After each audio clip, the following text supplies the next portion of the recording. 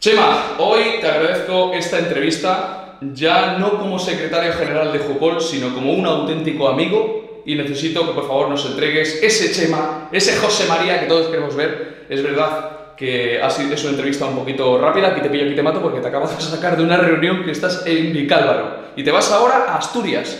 Pero es que dentro de dos días estás en Barcelona, estás en Murcia, en Alicante, en Almería, o sea, estás gastando tus vacaciones. Así que te agradezco más que nada en el alma este sacrificio que estás haciendo por entregarme también unos minutos.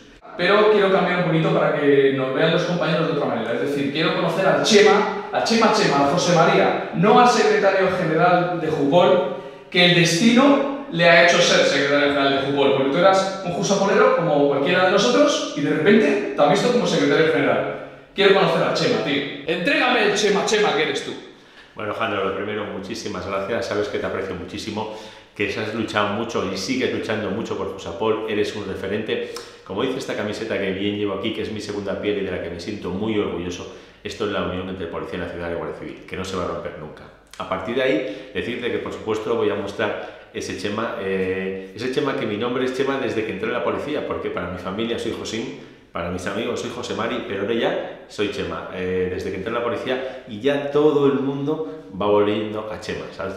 Al principio, bueno, la familia es José, los amigos José Mari y hoy ya todo el mundo es Chema. Y José María es el nombre que, que tenía mi padre, que desde aquí quiero darle un agradecimiento muy grande porque falleció hace seis años y para mí fue un referente. Y bueno, me hubiera gustado poderlo tener en este momento aquí conmigo, que seguro que me apoyaría muchísimo.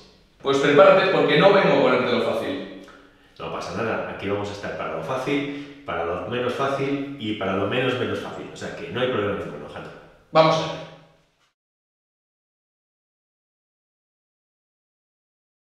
Mira, Alejandro, la verdad que esa es una pregunta que tengo muy clara. Eh, ni yo, eso está clarísimo, ni la gente que estamos en este equipo nos vamos a romper. Date cuenta que yo soy policía por vocación Date cuenta que cuando acabemos de esto tenemos que volver a las comisarías y a mí lo que no me gustaría nunca es que me pusieran la cara colorada y me dijeran, eres un mentiroso. A partir de ahí lo tengo muy claro, yo no me voy a corromper. Antes de eso me aparto y me voy. Lo que tengo muy claro es que hemos venido aquí a cambiar esto, lo vamos a cambiar y todo el equipo de trabajo que estamos ahí, los vocales al consejo, todos los que salgan, salgamos, eh, vamos a tener una cosa muy clara, conflicto colectivo permanente, las negociaciones con la Administración siempre sometidas a la ley y todo aquello que no entre en la legalidad acabará en el juzgado. Eso lo tenemos claro, eso lo vamos a decir por activa y por pasiva, ya tenemos como referentes las denuncias que hemos puesto, tanto por el tema de embajadas, tanto por el tema del CIE, tanto por régimen disciplinario y una cosa está muy clara, aquí hemos venido a cambiar lo que los últimos 30 años nos han abandonado hay compañeros en distintos sindicatos que pudieron hacer cosas que nosotros no estamos de acuerdo, ¿vale? Por eso hemos venido a cambiarlo. Y una cosa tenla bien clara, no nos vamos a corromper. Por eso de verdad os pido que, que confiéis en nosotros, más que nada porque Jupol hoy en día es el referente. Y te, retiro, te repito de verdad, Alejandro, no nos vamos a corromper. Mira, eh, personalmente tengo que decir que mi corazón lo tiene al 100% Jusapol. Yo soy de Jusapol 100%. ¿Por qué? Porque Jusapol es la unión de Policía Nacional y Guardia Civil. Como lo hemos dejado bien claro, tanto Jupol como Jucil son herramientas de trabajo, pero Jusapol es la hermandad, es la unión, es la lucha constante. Yo desde aquí le quiero decir a los compañeros de la Guardia Civil que tengan bien claro que mientras Chema sea el secretario general de este sindicato, Jupol no va a desvincularse nunca de, Jucil. Cuando estemos en el Consejo, vamos a luchar tanto por Jupol como por Jucil, igual, a igual parte, hasta que Jucil entre en su Consejo de la Policía de la Guardia Civil, perdón, vamos a tener bien claro que desde que entramos en el Consejo vamos a luchar por un Consejo único de fuerzas y cuerpos de seguridad del Estado, donde en la misma mesa esté Policía Nacional y Guardia Civil. Eso lo tenemos clarísimo y que ese Consejo sea vinculante. Sabemos que el partido, tanto el Partido Socialista como el Partido Popular, nos han dicho por activa y por pasiva que no puede ser. Sí va a ser, eso lo tenemos muy claro. Y de verdad te lo digo, Alejandro, eh, Jusapol, eh, esta camiseta que llevo es mi segunda piel. Esta camiseta eh, hizo muchos kilómetros en la marcha de Asturias a Madrid, caminando 13 días con 40 kilómetros diarios, con frío, con agua, con sol. La verdad que fue duro. Lógicamente, las letras las tengo grabadas en el corazón. Jusapol para mí es lo primero porque es la unión entre Guardia Civil y Policía Nacional y eso no se va a romper nunca. Desde Jupol mm, tenemos cuatro puntos eh, que son líneas rojas. Eso es innegociable. Son todo el dinero al complemento específico general, eso tiene que dar bien claro porque mientras todo el dinero no esté en el complemento específico general no vamos a, tener eh, las pagas extras dobles, no va a haber equiparación. Otra línea roja es eh, los compañeros de segunda actividad y reserva. No vamos a olvidar a esos compañeros. Hoy no trabajan, es cierto, ¿vale? Pero sí lo trabajaron muy duros y ellos tienen el derecho de cobrar la equiparación exactamente igual que nosotros. Otra línea roja es eh, el Consejo Único de Fuerzas y Cuerpos de Seguridad del Estado, donde en la misma mesa esté Policía Nacional y Guardia Civil. Y que sea vinculante, que a día de hoy no es vinculante, son simples acuerdos, ¿vale? Y el último es que, la escala básica esté en el grupo B de la Administración. Cuando estos, eh, el señor ministro diga que eso no puede ser, le vamos a explicar bien claro, nos vamos a levantar de la mesa, vamos a decirle que vamos a entrar en el conflicto, en colectivo, en conflicto colectivo permanente. A partir de ahí nos vamos a levantar de la mesa y se lo vamos a explicar muy fácil al señor ministro. Mire, en la calle hay una hoguera, una hoguera que está con un fuego muy vivo, con una llama muy grande. Si usted quiere apagar ese, fuego, lo único que tiene que dar es darnos la equiparación. Si no, que sea haremos nosotros. Saldremos ahí y a esa hoguera le echaremos un poquito de gasolina para decirle al señor ministro que se están confundiendo una y otra y otra vez. En los últimos 30 años se han oído de nosotros. Y esto desde el día que Jupol y Juciel estén en el Consejo tanto de Policía Nacional como de Guardia Civil, se va a acabar. Eso quiero que quede muy claro, Jandro. Mira, pues la verdad, la familia, tengo tres niños, Jandro, tengo un niño eh, de 12 años, David, tengo uno de 10, eh, Adrián, y tengo uno de 6, Mateo. Cuando llego a casa, el último día, por ejemplo, que venía de Burgos, eh, fui a dormir a casa y el niño pequeño, Mateo, me dice, papi, ¿vienes a dormir? Dije, sí, dice, vaya hombre, yo que quería dormir hoy con mamá y siempre me preguntan, papá, ¿dónde vas a estar esta semana? La verdad es que tengo que dar un agradecimiento muy fuerte a, a mi mujer, que me apoya mucho en esto, que trabaja a turnos, ¿vale? Quiero decirle a los compañeros que ella trabaja a turnos, tengo tres niños, a mi madre, que nos ayuda muchísimo, ¿sabe? Desde aquí un beso muy fuerte para mi madre, a mis suegros, que están todos los días allí apoyándome. Yo quiero decir que es verdad que viajo mucho, pero tengo un apoyo familiar muy grande. A mi hermana también quiero hacerle un guiño, que me riñe muchísimo, que me está todo el día diciendo tal, pero que me apoya, que yo en esta lucha, tanto familiar, eh, mi familia, quiero decir, mi madre, mis hijos, mi mujer, mi hermana, tanto como la familia de Jusapol, estoy siendo muy querido. La verdad es que me siento muy arropado por todos y es lo que cada día eh, me hace levantarme por la mañana y decir, hay que seguir porque estamos muy cerquita de conseguir la equiparación salarial. Mira, Alejandro, eh, llevo viajando ya esta semana, el domingo por la tarde, a las 6 de la tarde, salí hacia Badajoz. Estuve en Badajoz, estuve en Cáceres. Todo lo que hago es, eh, cada día estoy por la mañana en una provincia y por la tarde en otra.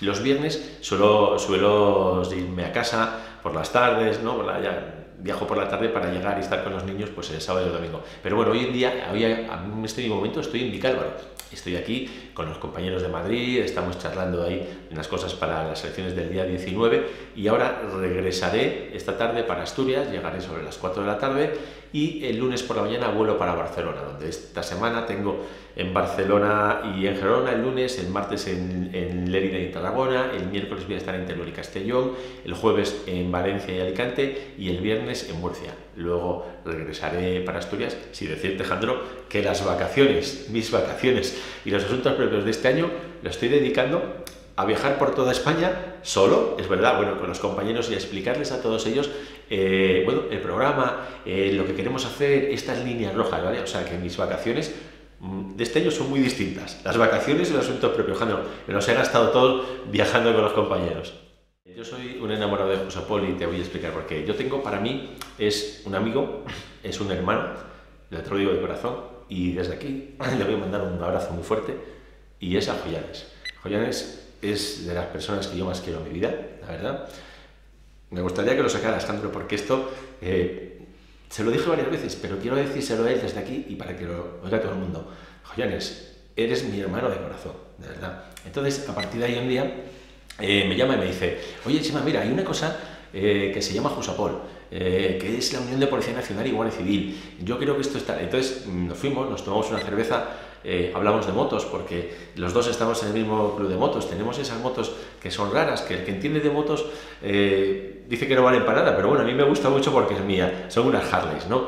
Y bueno, la verdad que hablamos de motos y no lo de Jusapol. A partir de ahí, sí es cierto que yo vi esto, creí en el proyecto, fui a Palencia, me presentaron a Miguel, a Nathan, a Miguel, vi que el proyecto era súper interesantísimo, vi que era lo que necesitábamos y empecé a luchar a luchar con ello. Todas las manifestaciones, todo lo que se hizo hasta ahora, que fue muchísimo. ¿no? Entonces para mí hubo dos cosas que, que me llegaron al corazón, que fue las injusticias, en este caso contigo, Jandro, y con Chema. Yo eh, no pude entender eh, cuando se quema la foto del rey en cualquier provincia de Cataluña y se dice que es libertad de expresión y en cambio por decir chupa del frasco carrasco te meten 15 días o por aguantar una pancarta y decir compañeros algo lo estamos haciendo bien porque las mazmorras del Ministerio Interior algo se está despertando otros 15 días. Lo vi injusto. A partir de ahí, Jandro, fui a apoyar tu expediente. Como no, ya te conocía, ya seguía tus vídeos, ya en la manifestación de Barcelona hablamos y entonces eh, quise, hice hincapié y, te lo agradezco de corazón que hubieras subido a la manifestación de Asturias. La verdad es que llegaste, eh, allí es verdad que te presenté a todos los políticos regionales, sobre todo para explicarles eh, la injusticia que habían cometido contigo, que a mi entender fue muy grande. Luego alguien, alguien que, que aquí en Jusapol, yo siempre lo digo, está lo mejor de la Policía Nacional y la Guardia Civil, y son somos lumbreras, la verdad. Entonces alguien sacó esas caretas de decir, todos somos Chema, todos somos Jandro, ¿vale? Entonces en esa manifestación pusimos tu careta, ¿sabes? Y todos éramos Jandro en aquel momento. Yo te pedí, te pedí de verdad que, que subieras al escenario, más que nada por el hecho de que eh, yo te conozco, y, compartí muchos datos contigo, hablamos muchas veces, pero lo que quería era que te conociera la gente, que efectivamente vieran eh, que había un Jandro, como también se lo pedí a Milano. Cuando Milano fue a esa manifestación, le dije, mira, Milano, solo te voy a pedir una cosa, haz lo que quieras, pero solo te voy a pedir una cosa, y es que te subas a la manifestación, para que la gente diga, es verdad que el Milano existe, que no son de cartón, que es verdad que son policías, ¿no? Pues a ti, Jandro, te pedí lo mismo, la gente se, se quedó encantada contigo, tengo que agradecerte el esfuerzo que hiciste, porque yo, que ahora estoy viajando por todas las provincias, veo que es un esfuerzo eh, muy grande, pero muy gratificante. Seguimos con tu expediente, eh, lógicamente, cuando estemos en el Consejo, mm, meteremos eh, mucha más fuerza con eso. Y sí quiero decirte aquí, quiero decir a, todo a todos los compañeros que lo están escuchando, tu expediente, el tuyo y el de Chema, está en el contencioso. Cuando ese contencioso nos salga favorable, porque lo va a seguir, va a salir favorable, estoy convencido, a partir de ahí emprenderemos acciones legales contra el instructor y contra el sancionador de ese expediente. ¿Por qué es injusto? Desde Jupol tenemos una cosa muy clara, las ilegalidades no las vamos a permitir y se va a ir vía judicial contra el que instruye y contra el que sanciona. Quiero dejar bien claro, con que el que instruye es indistinto de la escala que sea. Escala básica, escala de su inspección, escala ejecutiva o escala superior. El instructor que instruye a sabiendas de una causa injusta y el que sanciona a sabiendas de esa que es una causa injusta, lógicamente tiene que acabar en los juzgados. Y ahí acabará Jandro. Así que tranquilo, que Jusapol, Jusapol, lo que dice esta camiseta, está contigo y con Chema a muerte y hasta el final. Mira, comentarte, Jandro, que por supuesto, eh, para todos los policías, eh, tú y Chema son experimentados, pero para, para la Guardia Civil está Javibi, que lógicamente desde Jusapol, que es la unión ¿sabes? No nos vamos a olvidar. Javibi tiene todo nuestro apoyo, nuestro respaldo, igual que vosotros. Y lógicamente vamos a estar con él hasta el final. Y vamos a hacer lo mismo. Todo aquello que no se someta a la legalidad, iremos donde tenga que ir, ¿sabes? Sabes que nosotros, la nuestra unión de Policía Nacional y Guardia Civil, vamos eh, hasta el final. Y vamos a apoyar a todos los compañeros que han sido sancionados, tanto de Guardia Civil como de Policía Nacional, injustamente. Irán, terminaremos todos con acciones legales. Mira, Alejandro, quiero comentarte que yo soy de esa generación del EGB. Soy de esos afortunados que estudiamos con el EGB, ¿no? Que, estábamos con los dibujos de Heidi, de Marco, todas esas cosas. Y luego tuve, la verdad, eh, la suerte eh, de vivir mm, temporadas con mis abuelos maternos. Tenía muy buena relación con mis abuelos paternos y con los maternos, pero especial con mis abuelos maternos. Eh, son de una aldea de Grau, una aldea pequeñita, y bueno, allí pues había lo que era un pueblo, había vacas, había conejos, había cerdos. Entonces, eh, viví todo eso. Eh, quiero mandarle un niño muy especial a mi abuelo, a mi abuelo David. No puedo. Hostia, no A mi abuelo David, ¿vale? Mi hijo mayor se llama David por él. me enseñó muchísimas cosas, eh, me enseñó, junto con mi padre, a diferenciar lo que estaba bien de lo que estaba mal, ¿vale? Y entonces es un referente y es lo que yo hago todos los días en Jusapol. Entonces, quiero darle, mandarle un beso muy fuerte y donde estén los dos, decirles que es un apoyo que a mí me están dando todos los días para seguir con esto. Y bueno, no quiero ponerme triste ni melancólico, quiero seguir contando más cosas de mi vida. Quiero deciros que eh, con 19 añitos me marché a hacer el servicio militar a Melilla porque allí eh, ya mandaban los galones y no los cojones, ¿no? Entonces, eh, ves que todo cambia muy rápido, tuve unas experiencias muy buenas en Melilla, la verdad, empecé a ver que la vida jerárquica, eh, empecé a darme cuenta, bueno, pues que yo tengo un recuerdo muy bueno del servicio militar. A partir de ahí me licencié eh, y ya fue cuando me paré para la policía. Soy de la octava promoción de Ávila, soy del año 92.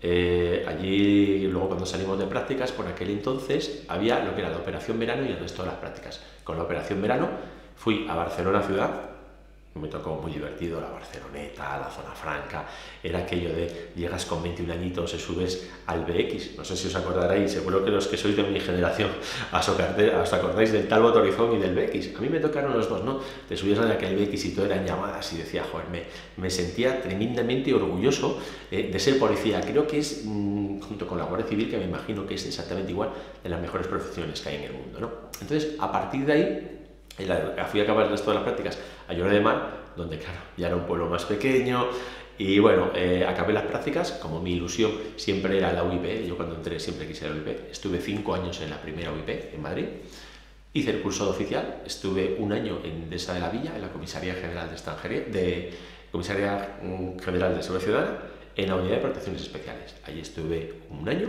y luego pedí la vacante de la UIP de Oviedo. Estuve otros cinco años y medio, donde viajé muchísimo, conozco prácticamente todas las provincias de España, aparte de por viajar ahora con Jupol, ¿sabes? Ya lo hice en su, en su momento con la UIP, eh, la cual tengo muy, muy, muy buenos recuerdos de, esa época. Luego ascendí a su inspector, me fui destinado a Murcia y me estuve un año con, con Moratinos cuando era ministro de Asuntos Exteriores. Me dio la posibilidad de viajar por el mundo, de ver eh, las distintas eh, culturas y la verdad que muy bien. Luego acabé en Asturias, donde estuve en los Zetas de noche, pasé a la UPR, el paseo de las motos y luego ya fue cuando mi padre pues se puso pachucho, el pobre, y entonces me fui a la Brigada Móvil y donde estoy destinado actualmente. Hasta que Joyanes me llamó un día, me habló de Jusapol, yo tenía una vida tranquila y ahora no tengo ni vida ni tengo nada, Sandro, pero eh, lógicamente estoy muy, muy contento, de verdad, muchísimo y sobre todo del éxito que vamos a tener el día 19.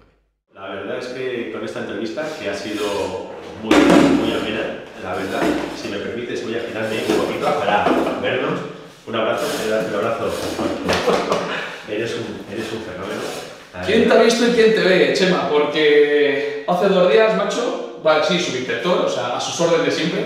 no, no, no, Pero, tío, que mira dónde estamos metidos ahora mismo, en un puñetero camerino de saber dónde dedicar y, y, luchando, macho, por cambiar el sindicalismo policial, la historia, 30 años de inactividad policial y de cortelas políticas y demás, tío, y una persona como tú, macho, que recae un peso brutal porque hay que decirlo, recae mucho peso sobre ti, ahora tienes una responsabilidad de la hostia, y ahora sí que te voy a pedir de todo corazón que jures, y esto te lo digo como compromiso, fíjate, como amigo, me parece mentira, los amigos te dan llorar, ¿no? Pues esta, aquí te viene.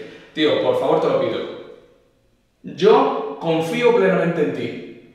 Necesito que se lo digas también a la audiencia. Y si alguna vez fallas, que este vídeo sea el mayor de tus males. Porque tú ten en cuenta lo que te va a caer ahora, ¿no? Por favor, jura sobre la Policía Nacional de que no eres corrupto, que no vas a ser nunca, que eres incorruptible y esa confianza que yo tengo en ti, que la vean todos los demás. Y que esto, una vez que hayas dicho que sí, ya sabes lo que va a caer sobre ti en el caso de que falles. Mira, Alejandro, eh, voy a jurarlo, voy a jurarlo por Cusapol, por esta camiseta que es eh, la Unión de Policía Nacional de Guardia Civil. Eh, os juro que no nos vamos a corromper, os juro que vamos a cambiar esto, ¿vale? Que no vamos a entrar a embajadas, a todo lo que hay hasta ahora, porque eh, eso fue lo que nos llevó a 30 años de miseria. Lógicamente, yo por lo que lucho, yo tengo tres hijos, y como muchísimos de los jóvenes que están aquí, y yo me sentiría orgulloso porque mis hijos fueran eh, nacionales o guardias Me sentiría orgulloso, de verdad, y me sentiría orgulloso de que mañana cuando Dios quiere y esté ya jubilado y esté sentado en un sillón, pues que alguien pueda decir, mira, tú has aportado un poquito para cambiar esto. Eso es. Y por supuesto que no nos vamos a corromper. Te lo prometo, te lo juro a ti, que lo vea todo el mundo, no nos vamos a corromper y vamos a luchar hasta el final por nuestra equiparación salarial. Que sepas que si alguna vez te corrompes, te destruirá este vídeo. Aquí lo tenéis. O sea que, tenedlo claro, lo digo abiertamente. No, no y mil veces no.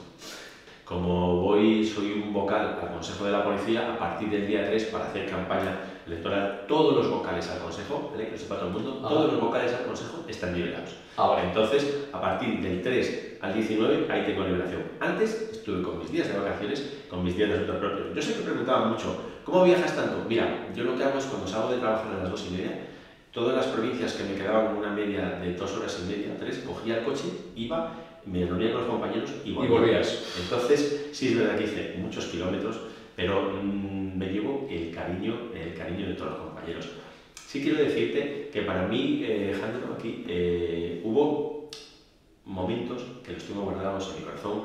Eh, uno de ellos fue cuando fuimos a, a Bilbao, la primera manifestación que se hubo en Bilbao. Llegamos, éramos unos poquitos al principio y nos mirábamos. ¿Sacamos la pancarta? Claro, por supuesto que vamos a, a sacar la pancarta. Vosotros sabéis lo Por que el es- miedo, tío, Bilbao, es que Claro, tema. Tú sabes lo que es llegar en Bilbao, la primera manifestación de guardias civiles y de policías en la democracia. Y poder llegar allí y decir, eh, esta es vuestra policía, ¿sabes? Y había gente que nos insultaba, chacurras, perras, eh, tamátanos. Otros nos aplaudían, Alejandro, la verdad. Y yo me sentía orgulloso. Yo cuando se pusieron todas las manifestaciones dije, yo voy a asistir a todas del País Vasco. Sobre todo en homenaje a esos compañeros que fueron caídos en acto de servicio. Yo eh, sé que si ellos nos pudieran ver, que sé que nos están viendo, estarían orgullosos de lo que José hizo, que es salir en sitios muy complicados, ¿sabes?, a decir que tenemos que tener los mismos derechos económicos y sociolaborales que el resto de las partes autonómicas. Y esto es por. Perdóname que te corte, tío, porque me hace sentir mal porque justo la de Bilbao yo fallé.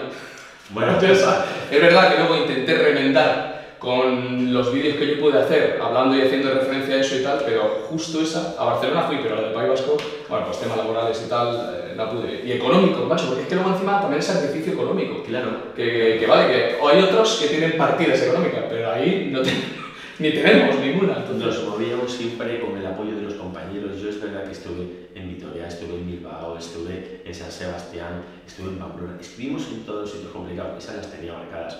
Eh, las de Barcelona, todas de Madrid.